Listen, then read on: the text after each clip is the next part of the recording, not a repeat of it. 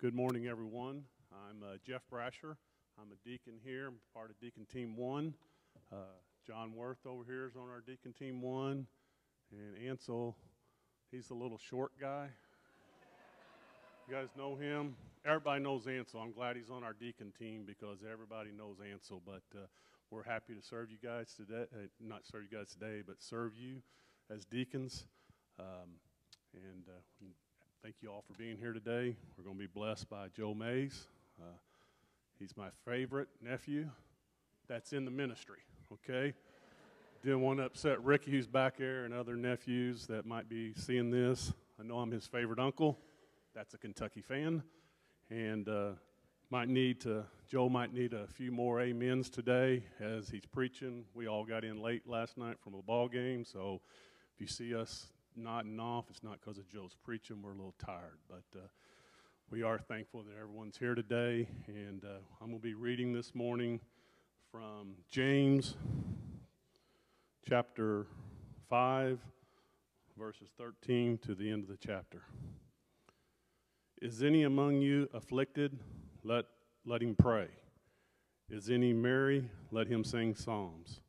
Is any sick among you? Let him call for the elders of the church and let them pray over him, anointing him with oil in the name of the Lord. And the prayer of faith shall save the sick, and the Lord shall raise him up, and he shall, and if he hath committed sins, they will be forgiven him. Confess your faults one to another and pray one for another that you may be healed. The effectual, fervent prayer of a righteous man availeth much. Elias was a man subject to like passions as we are, and he prayed earnestly that it might not rain, and it rained not on the earth by the space of three years and six months.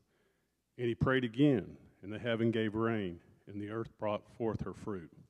Brethren, if any of you do err in the truth, and one converteth him, let him know that he which converteth the sinner from the error of his way shall save a soul from death and shall hide a multitude of sins. Let us pray. Father, we thank you, Lord, that we're able to be here today. Lord, we know that you have us here for a reason. Lord, we just ask you that uh, you be with this service. Lord, as we sing unto you, Lord, lift our voices up and make a joyful noise that, uh, Lord, uh, we worship you in that way. Lord, we ask you to be with Joe, Lord, as he's prepared a sermon, Lord, that you've given him, that we'll have ears that will hear, and that, Lord, you'll bless him and give him strength. And, Lord, as we go from here today, that uh, we'll go out and serve you in this world. In your holy name I pray. Amen.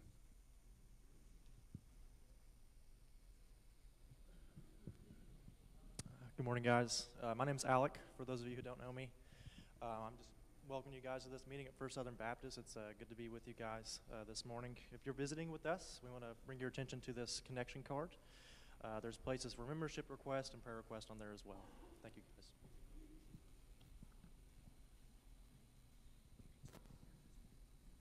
Good morning.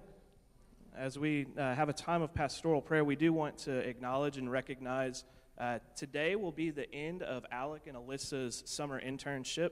Uh, they've spent the last 10 weeks serving here uh, faithfully at First Southern. They've gotten plugged in. Alec is playing bass. Alyssa is back in the sound booth right now. We are excited uh, to see the future for them, both in ministry, uh, but also they got engaged this summer and are getting married in October. So, great things coming. so, please be in prayer for them and for their future and how we can come alongside them and serve together in ministry.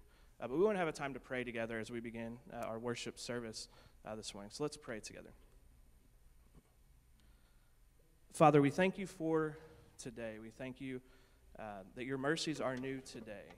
Father, that your love never fails and that you are always faithful, uh, even when we are not. And we gather today uh, from all walks of life, from all sorts of circumstances, from this week, from this weekend, and even from this morning. And Father, you know our hearts and our minds, and we pray that by the power of your Holy Spirit, that you would change us this morning. Father, that our hearts and our minds would be attuned to your word, to your will, and to what you want us to hear, to the conviction that we need, to the encouragement that we need to faithfully serve you. You call us to come together to encourage each other, to lift one another up, to love and good works. So I pray we do that today as a family, as a body of believers, as we worship together. We pray that you are honored through this time. We want to pray for our pastor as he's out uh, this week. We pray you bless them with a time of rest, and we pray that you give them grace and strength through the transition of, of Jesse going to Wisconsin. Uh, we pray that you bless their family. We thank you for our pastor, for uh, Kim as well, and for their family and the, the ministry you've called them to. Uh, we pray we would be a blessing to them as they are to us. And again, we pray that you would be honored through this time that we have together to worship in spirit and in truth. And we pray these things in Christ's name. Amen. I do want to uh, personally commend Alec and Alyssa for the work they've done this summer. Uh, they've been involved in service projects and in trips, uh, most of all in teaching weekly. And they've done a fantastic job taking on things expected and things unexpected, and I appreciate that so much. And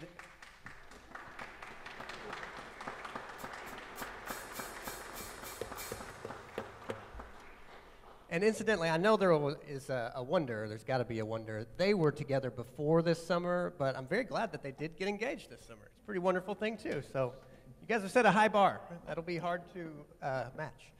Uh, appreciate you guys so much. We have an opportunity right now uh, to sing to the Lord because of who He is and what He's done. Let's stand together and let's do that.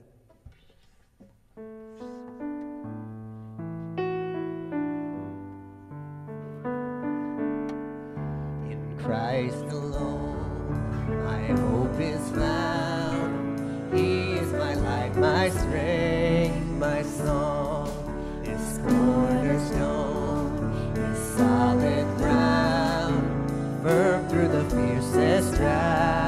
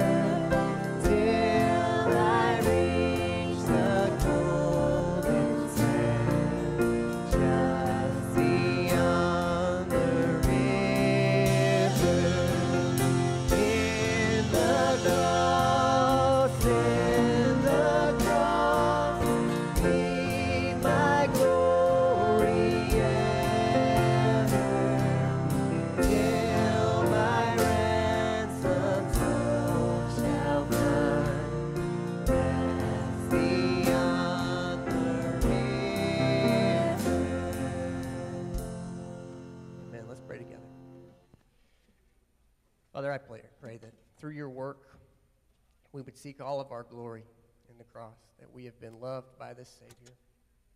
You gave everything for us, that we have to prove nothing.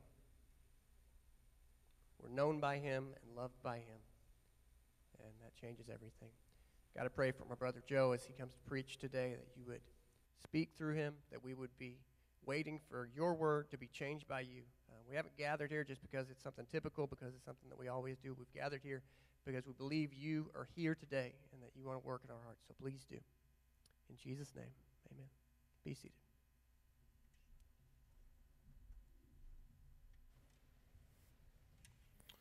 Well, good morning.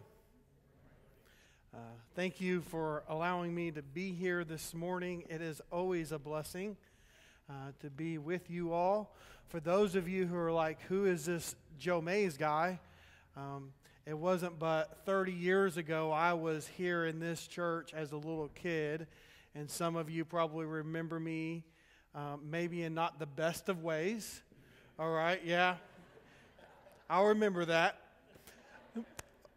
But the Lord does marvelous things. I would have never have thought 30 years ago that um, I would be standing up here, um, being able to preach the gospel and to share God's word with you. So I want to thank you, uh, First Southern, thank Pastor Dave for this opportunity to bring the word this morning. It's always very brave to have a guest speaker, a guest preacher when the pastor is gone. All right? So um, bear with me. Um, but all kidding aside, it's always a joy, and I'm always thankful for Pastor Dave to trust his pulpit um, with me. Um, we have a pastor at our church that when he's asked to pray at the end of a service, he um, finishes his prayer. He says, Amen. And then he looks at the congregation and he tells our congregation, Go and be the church. Why is that important? It's important because we're called to together be on mission for the Lord. So, part of being the church is to have a heart for the community that you're in. Community looks like the people that you're around and the people that you do life with. So, your community is the city of Evansville, the Evansville area, the Tri Cities area, but your community is also the people that you are daily doing life with. I, I want, to, want you to think about this morning. When was the last time that you were broken over a family member or a friend's lack of salvation? I want you to think we get broken over divorce, which we should. We get broken over when people get in trouble with the law, which we should. We get broken when our favorite sports team loses, which we shouldn't. I'm speaking to myself there as well. But if we feel broken over all these things, but cannot feel broken over people who are leading a life that is going to hell, then we must recheck our own hearts and the mission that God has called us to. So I'm going to ask you to, today, if you are able, please stand with me as we read the, uh, from the book of Colossians, chapter 4. And we're going to read just a few verses here in Colossians, chapter 4. In honor, honor and reverence of the Word of God, if you are able, please stand as we read these verses. I'm going to be reading from the ESV. this is what it says Continue steadfastly in prayer, being watchful in it with thanksgiving. At the same time, pray also for those that God may open to us a door for the word, to declare the mystery of Christ on account which I am in per- prison that I may make it clear which is how I ought to speak. Walk in wisdom toward outsiders, making the best use of your time.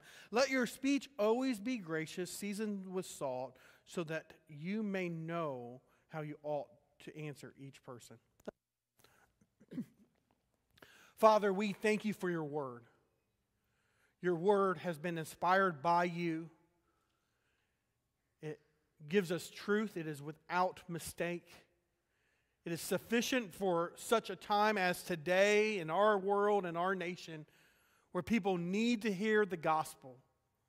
So, Lord, may this word, this passage that you've given us this morning, may it challenge us to be more like you in the way we're called to missions. In Jesus' name I pray. Amen. You may be seated. So, the theme of the book of Colossians, I think it's important anytime you pull out a passage of Scripture and you're going to preach from it, that you're not going through a book of the Bible to kind of give you an overview of what's going on. so, we see that Paul is talking about being in prison, but the theme of the book of Colossians is this idea that Christ is sufficient and supreme over all things. Okay? He is sufficient for all of your needs, and He is supreme, overseeing over all things, including your own hearts and your own minds. This book teaches us how to trust in the Lord and trust in His supremacy in all things, including in salvation and evangelism. So, today we're going to look at this idea of the centrality of missions, about going and being the church. And I have four points for us this, uh, this morning from this passage I think that we can see very clearly. The church, if we're, if we're called to missions, we must first be persistent in prayer persistent in prayer. Look at verses 2 and 3 there. It says, Continue steadfastly in prayer, being watchful in it with thanksgiving. In the same, at the same time, pray also for those that God may open to us a door for the word to declare the mystery of Christ, on account of which I am in prison.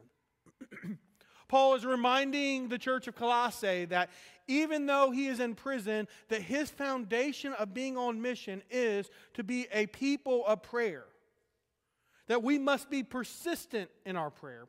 When we're talking about having a desire to be on mission for the Lord, it starts with us being on our knees, seeking the Lord's direction, the Lord's help.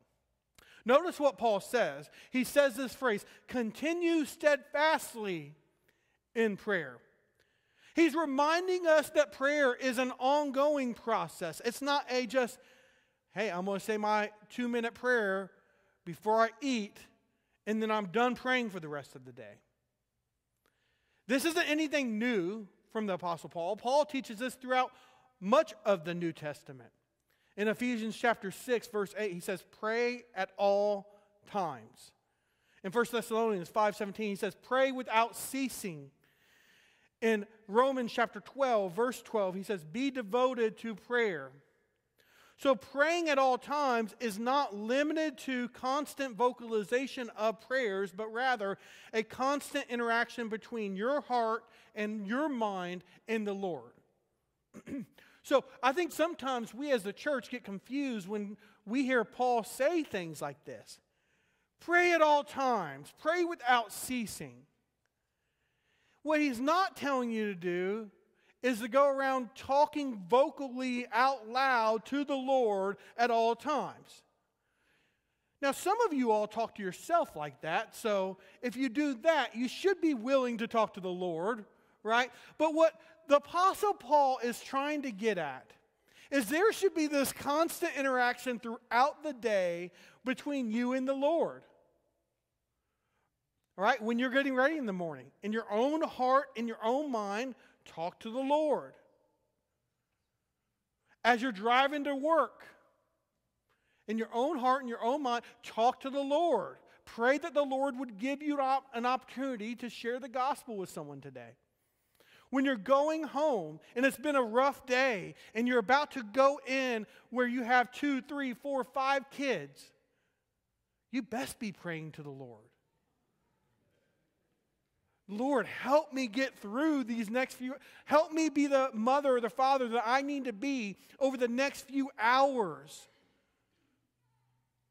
See, this, this constant communication with the Lord is what Paul is trying to tell us. People in our lives who do not know the Lord should see that we are constantly um, in communication with Him. I'm not I'm not saying that we are doing this vocally, but they should know that we have a relationship with the Lord. And then people in our lives who do not know the Lord should constantly be on our hearts and be on our minds.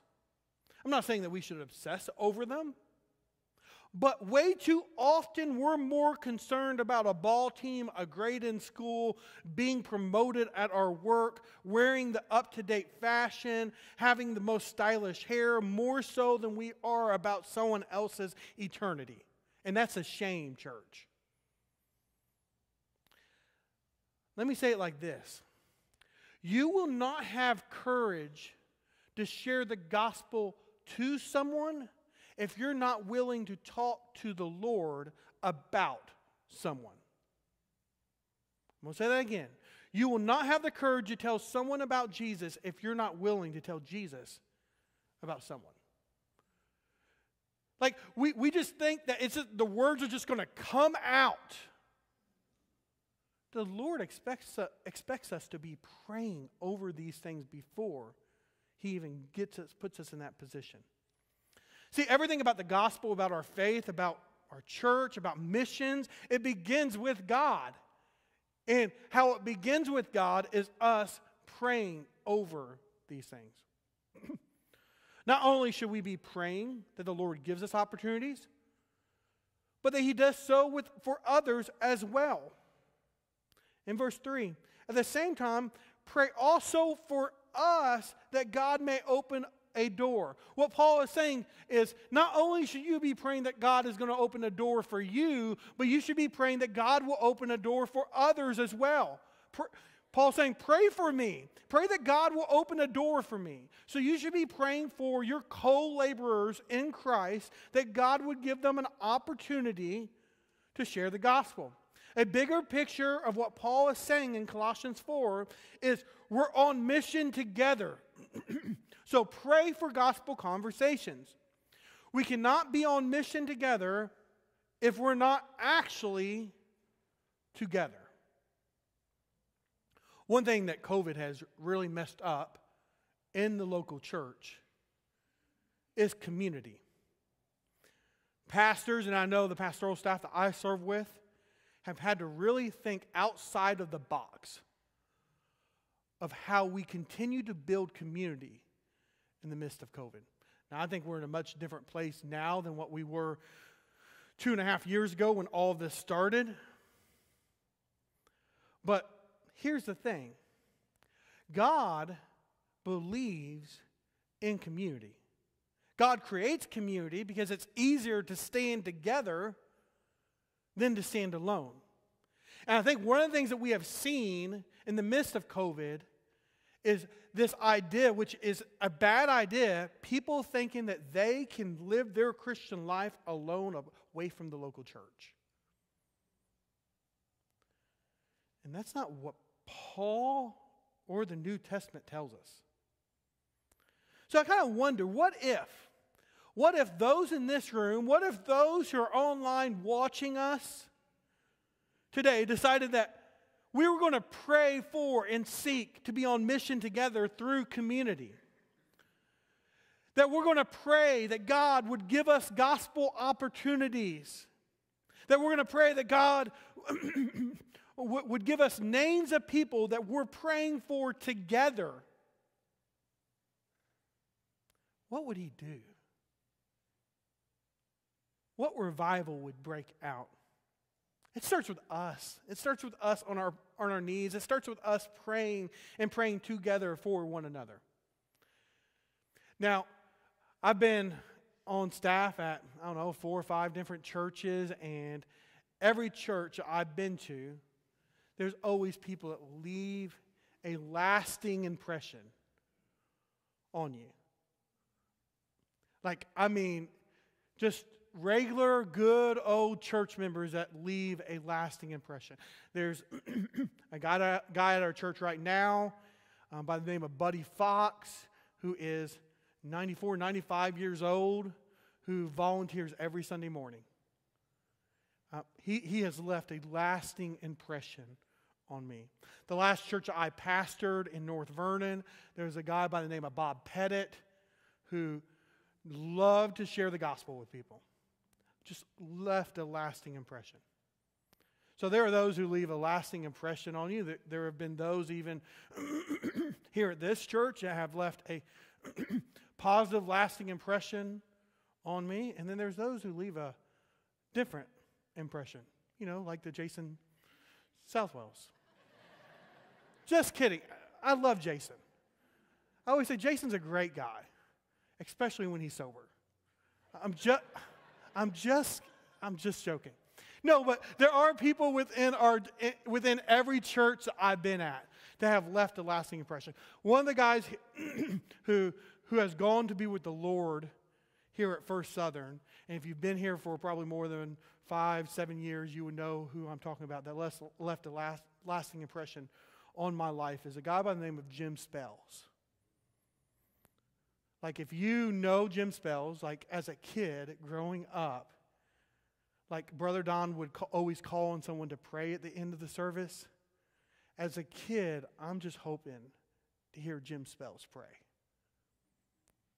I've never, I don't think I've ever in my life heard someone pray and be broken over lost people the way Jim Spells prayed and was broken over lost people. but there was, a, there was a time when I was, I believe I was an intern here, and um, I don't know, all the pastors were gone for whatever reason, and I was the only guy around, um, sort of like Jackson right, right, right now. And, and someone was in the hospital, and Brother Spells calls me up, and he's like, hey, so, I forget who it was. Hey, someone's in the hospital. Do you want to ride with me to Deaconess to, to visit him? I was like, sure. Now, if you know Jim Spells really well, you know that he couldn't read, right? So I'm on the way to the hospital with Brother Spells, and he gets out of his car and he drops his Bible, and I forget whether it was in his Bible or a note, notepad or whatever. And again, he couldn't read, but he knew where the verses were. His wife highlighted them for him. He would go into prisons with highlighted verses and have people read them. I mean, just a guy who loved the Lord. And he drops his Bible, and, and some stuff falls out, and somewhere, either in the back of his Bible or in a notepad or something, he had a list of names. I said, Brother Spells, what, what's this? These are all the people I'm praying for would come to know the Lord as their personal Lord and Savior. And then in the midst of those names, he had, and I'm telling you, this wasn't just like three names, this is pages of names.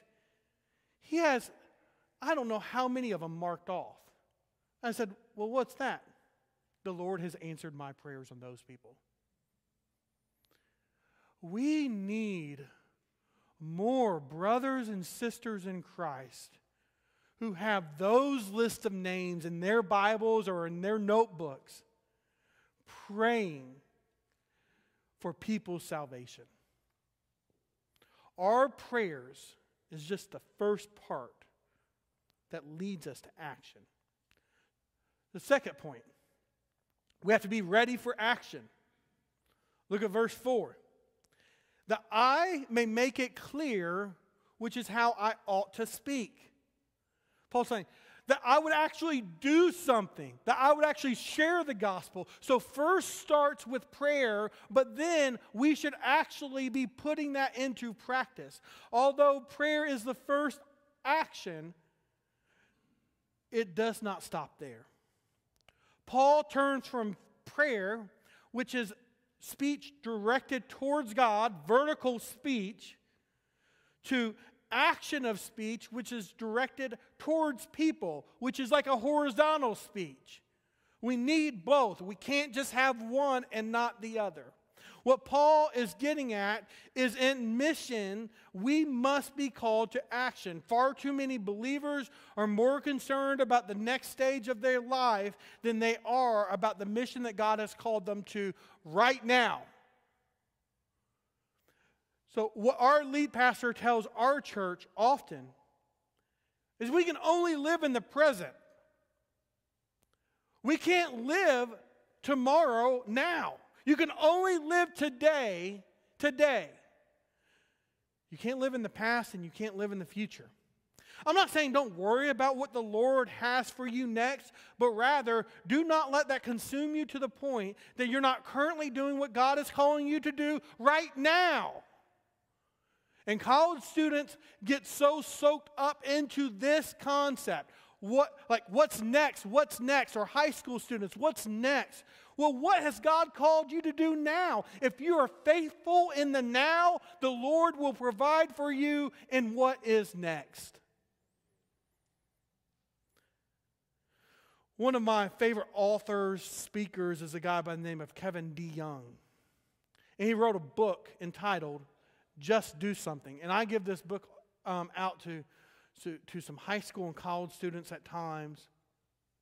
And in this book, the premise is that we can get so caught up into not, uh, not knowing the will of God that we're merely never on mission for the Lord.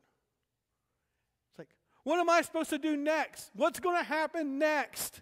Like, either it's college or it's a job or it's retirement or it, it, it's what's the next thing that you get so caught up in that you can't even focus on what the Lord is calling you to right now.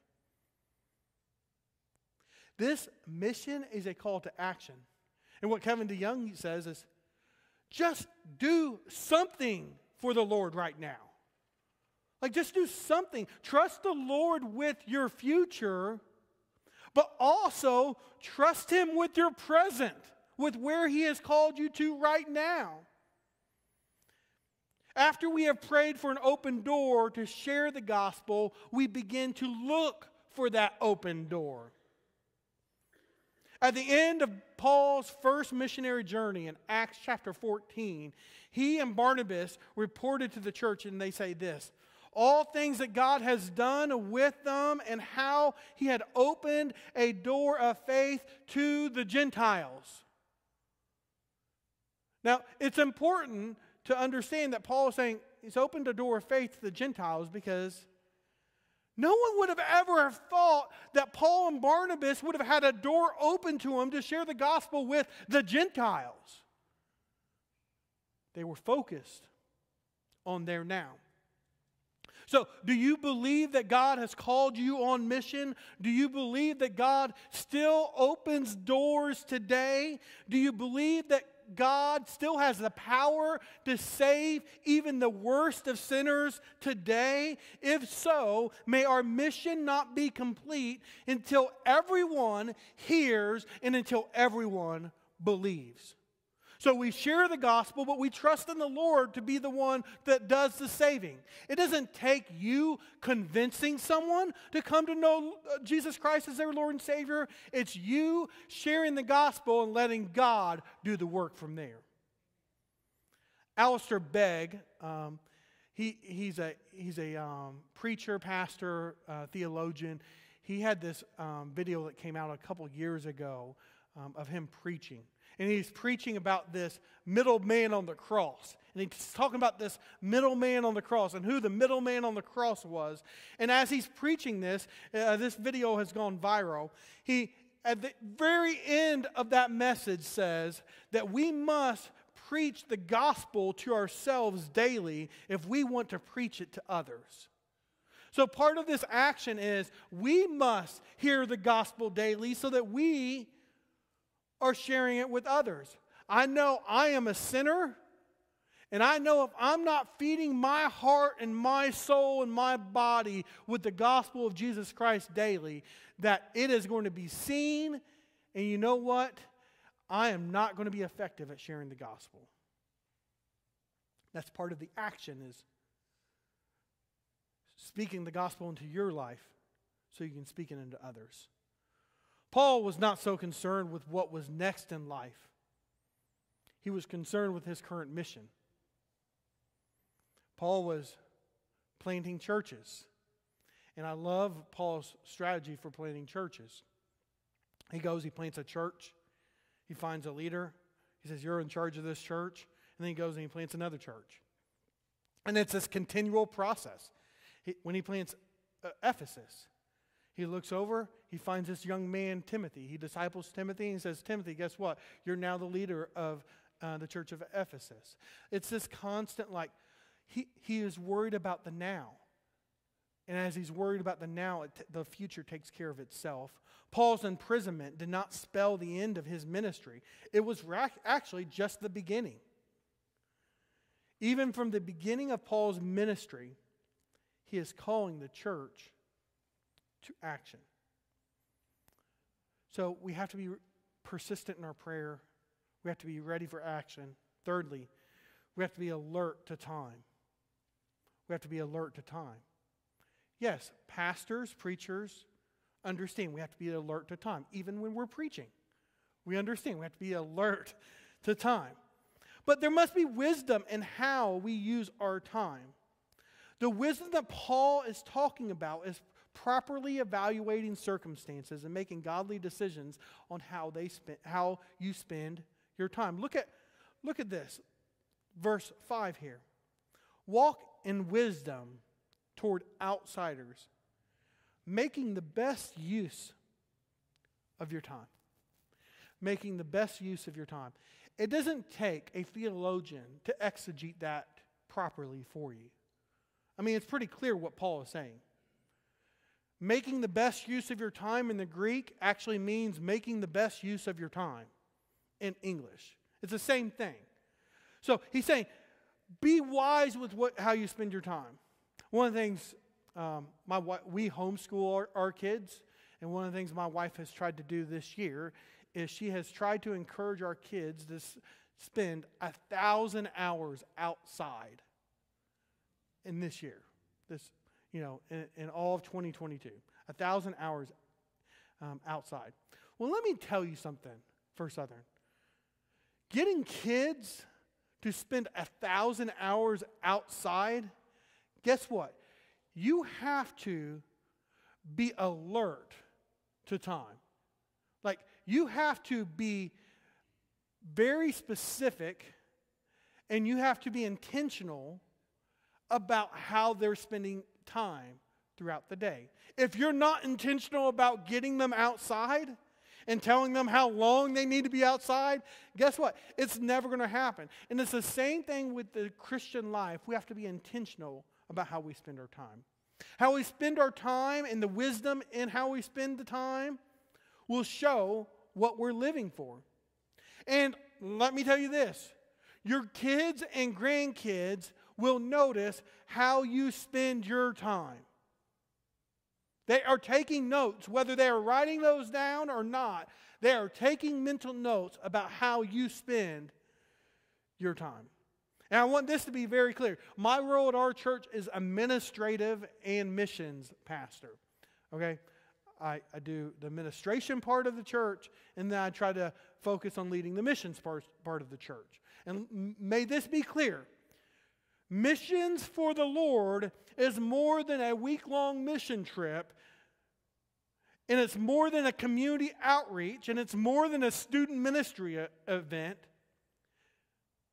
Missions is who we are. It's our DNA. It's what we're about. Mission trips are meant to give perspective, they're meant to give others hope and allow what we are already doing in our community to be something that we take somewhere else. And far too often the church, in the conservative evangelical church days, the only missions you ever do is a week in Mexico. Which, let me tell you, if that's all the missions you ever do, you're not on mission for the Lord and you're not being obedient to the Word of God. This is why we must be wise with our time. We build relationships, we build friendships so that we are on mission together and that we share the good news of Jesus Christ. I love sports, but one of the biggest reasons I always help my sons' sports teams, one of the biggest reasons I always help, the, help coach isn't just because I love sport, sports, that's a big part of it, but it gives me an opportunity to be in our community. Like, I'm helping, helping Coach Liam's team. What do you do for a living? Oh, here we go. Here's the conversation. Thank you, Lord, for opening the door very quickly into this conversation. I'm a pastor. Uh, And always, the Lord always gives me these opportunities while I'm helping in the community. So we build these relationships within, uh, within our communities so that we share the good news of Jesus Christ with others.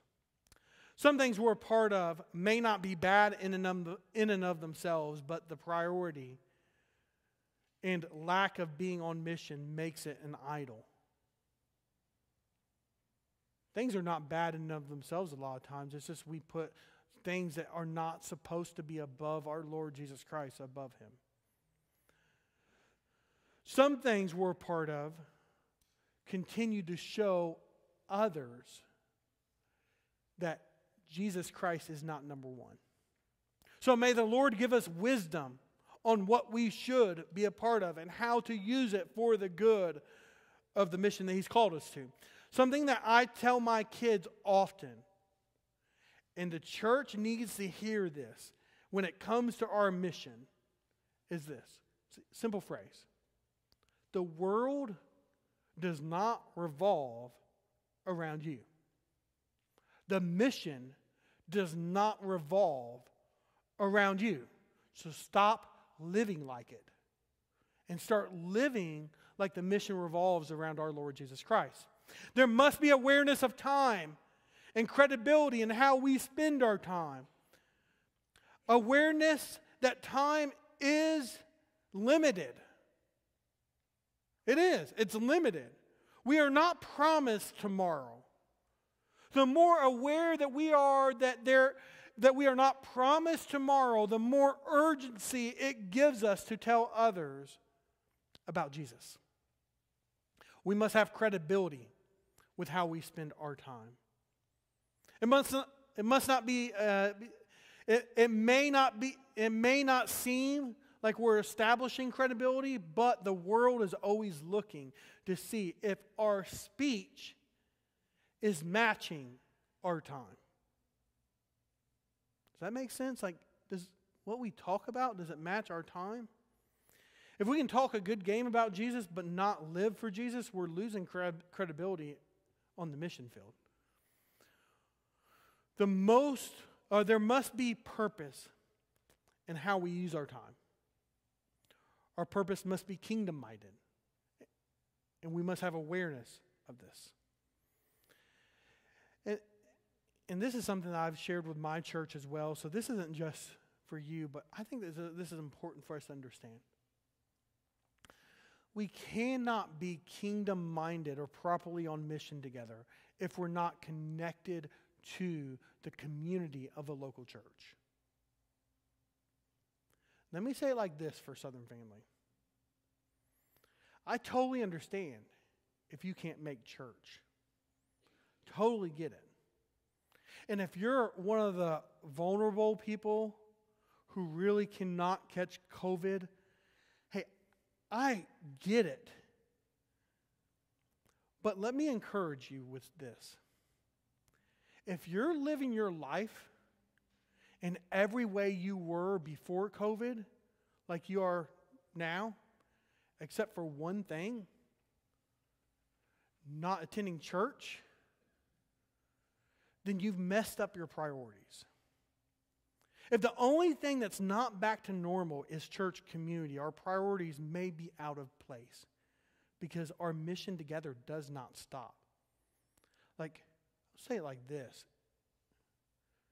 like, there are people who are at Cracker Barrel on Saturday mornings, at the gym throughout the week.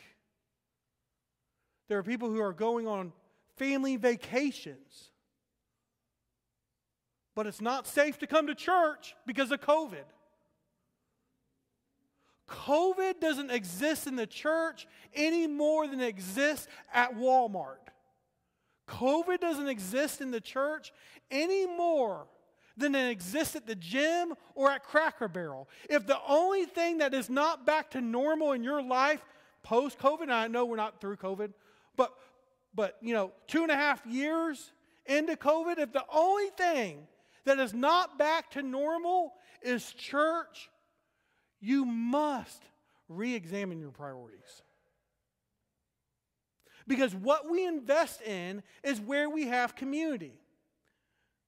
Like, I laugh at this. I will see people who will go to IHOP on a Sunday morning at 8 o'clock just to get back to watch our service online at 9.30 in Virginia.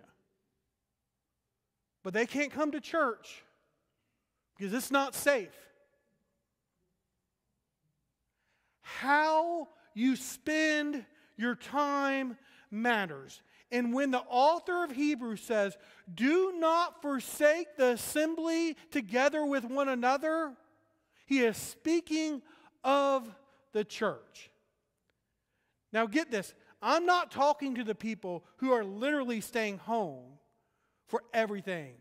I'm talking to the people who their life is back to normal, except for church. How you spend your time matters. If you do not have time for the Lord and His people, then what makes you think you're going to lead someone to a relationship with Jesus Christ? And if you're not wanting to lead someone to a relationship with Jesus Christ, you're not on mission for the Lord. And if you don't have that desire, if there, if there isn't at least that desire in your heart, in your life, to lead someone to know Jesus, let me ask you this Do you truly know Jesus yourself?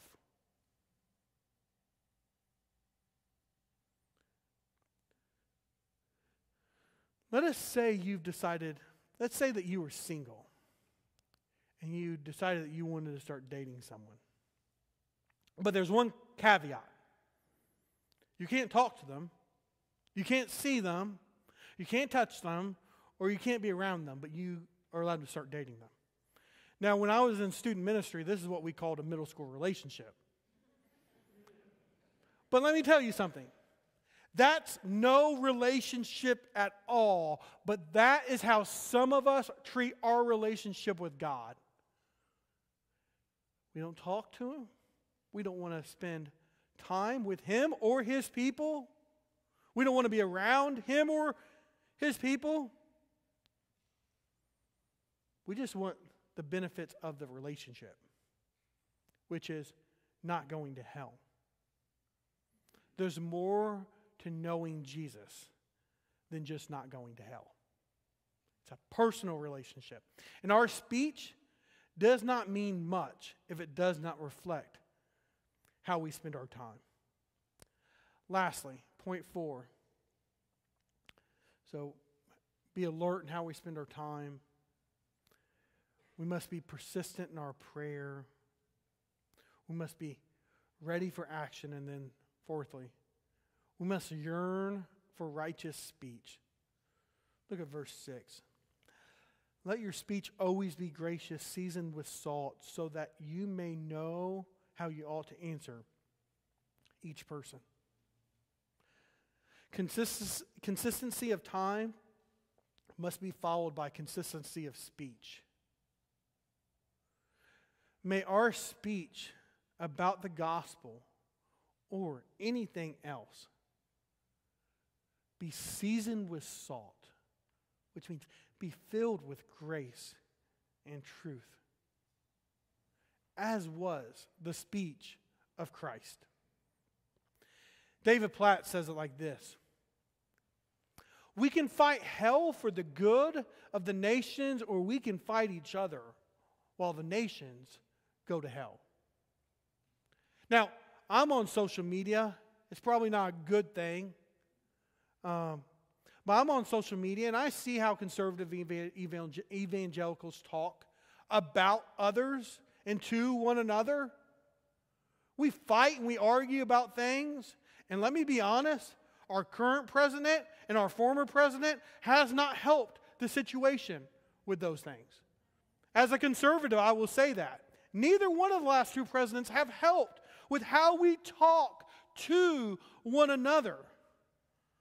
We must learn that our speech is to be consistent with what we believe about Jesus. And far too often, as we are arguing about things that really do not matter in the grand scheme of eternity, there are people who are dying and going to hell. To speak with grace is to say things that are spiritual, that are wholesome, that are uplifting, that are kind and sensitive.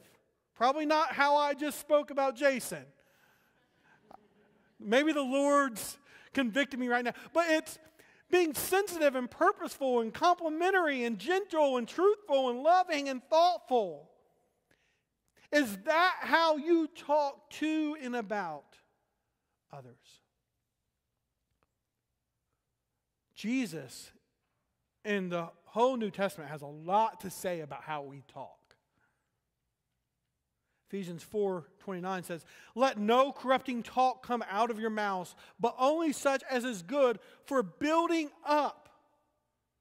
What you say does it build people up as fits the occasion that I may give grace to those who hear.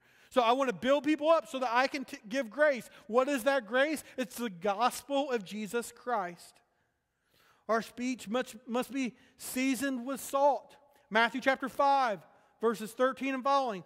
You are the salt of the earth, but if salt has lost its taste, how shall its saltiness be restored? It is no longer good for anything except to be thrown out and trampled on. You are the light of the world. A city on a hill cannot be hidden, nor do people light a lamp and put it under a basket or put it, uh, put, a stand, uh, put it on a stand and gives light to all the house. In the same way, let your light shine before others so that they may see your good works and give glory to your Father in heaven. May the way you live and the way you speak, may people look at you and say, That's God.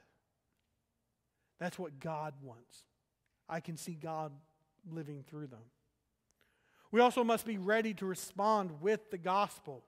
And our speech must be seasoned appropriately. Let your speech always be gracious, seasoned with salt, so that you may know how you ought to answer each person. The reason our speech must be seasoned with salt is so that we can answer each person with the gospel of Jesus Christ. I heard this quote recently. Forget who it was from. It may have been my pastor. Um, someone recently said, If you don't stand for something now, you'll fall for everything later. I think that's good. So if our speech doesn't show the grace of God and speak the truth of God, if we don't stand for that now, we will fall for everything later. If we do not share, how will others believe?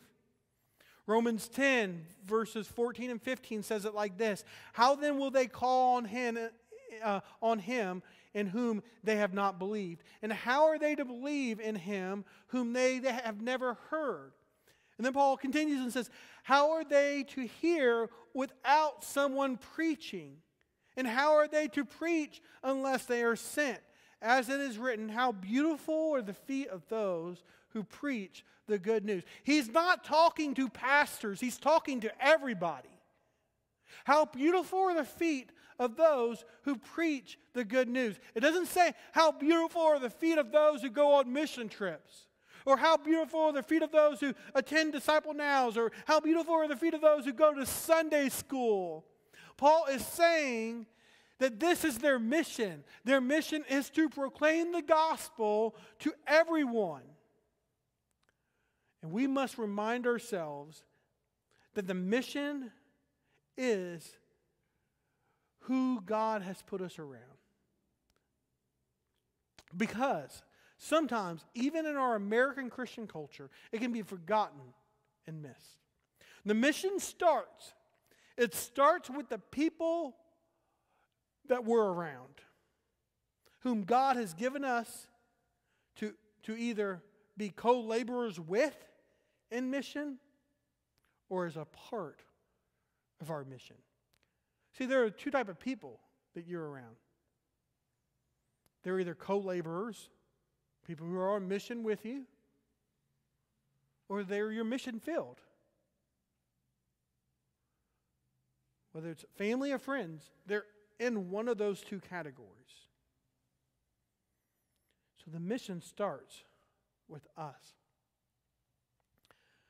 May we be forever on mission for the Lord. And may it be seen in our prayer, in our action, in our time, and in our speech. At our church, our pastor always gives one, one or two final just application points. Here's something for you to go and consider about applying from this message. And I just have one for today for us, and it's this let's go be the church. Let's go and be the church. Then the centrality of missions is go and be the church. How do we do that? We do that by praying. We do that about, by our action, by our time, and by our speech. Now, you may be here this morning and you may have never personally given your life to Jesus Christ. You may have heard all of this this morning and say, This mission that you're calling these Christians to, I have never accepted Jesus Christ as my Lord and Savior. And, and if that's you, here's what, what's happened. You have walked in this morning probably feeling broken. We live in a broken world.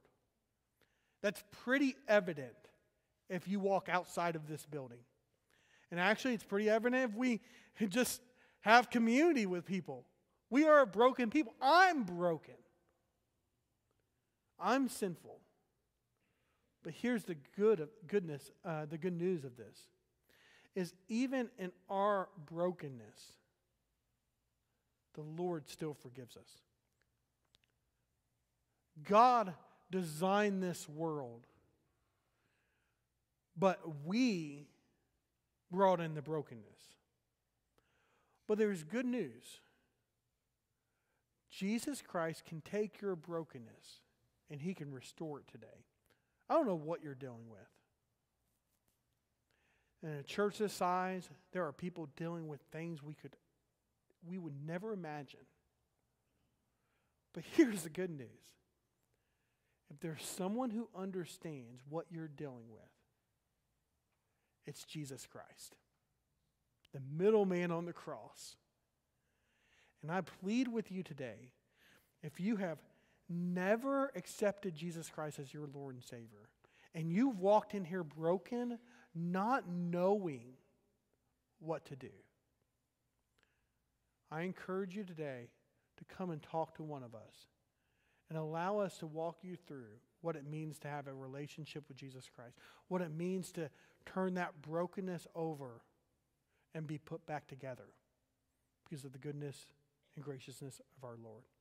So we're going to have a time of response, and um, you can you can use this altar if you just need to come and pray. Maybe there's someone that's on your heart. Maybe it's a friend or a family member that you don't know if they have a relationship with you or with the Lord. Maybe you need to come just to the altar and pray. I don't know. Or maybe maybe this morning you don't have a relationship with the Lord and you want to come and talk to someone please come forward. Allow, allow someone to, to talk with you about what it means to have a relationship. Whatever needs to happen in this response time, it's between you and the Lord, and you respond in whatever way the Lord desires you to. Let me pray for us, and then um, I'll pass it back over to Jackson. Father, you are so good. You are so kind.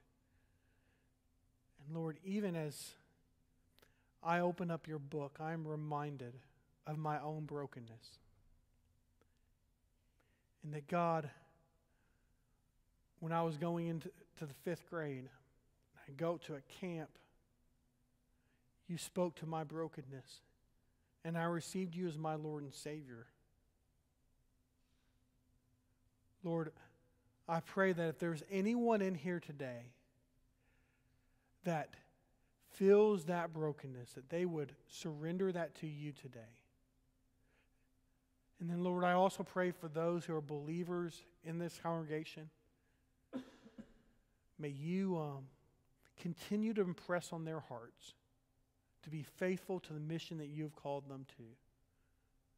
And may you be exalted and honored. In Jesus' name I pray. Amen. Amen. Thank you, Joe. Please stand together. If you want to come up here, I'm sure Joe will be happy to pray with you. We have deacons here.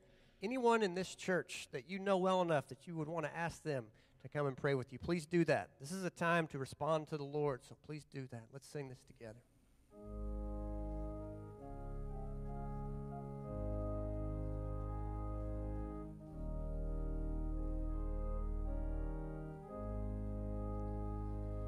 Pass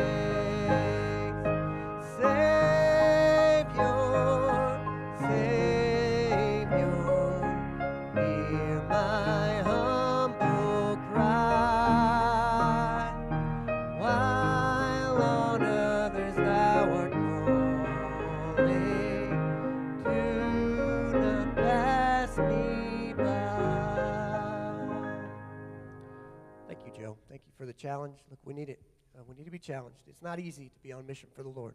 We need His courage. We need His encouragement. So I thank you very much. Um, we're going to be dismissed today. Ansel, would you close us in prayer, please, sir?